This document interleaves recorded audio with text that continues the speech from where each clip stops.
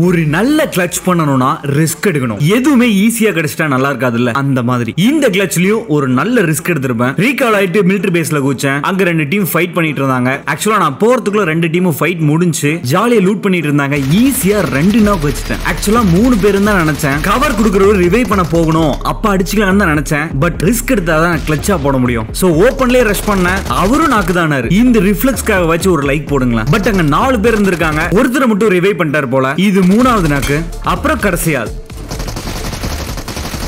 இன்னும் நம்ம சேனலை சப்ஸ்கிரைப் பண்ணாமல் இருந்தீங்கன்னா சப்ஸ்கிரைப் பண்ணி சப்போர்ட் பண்ணுங்க.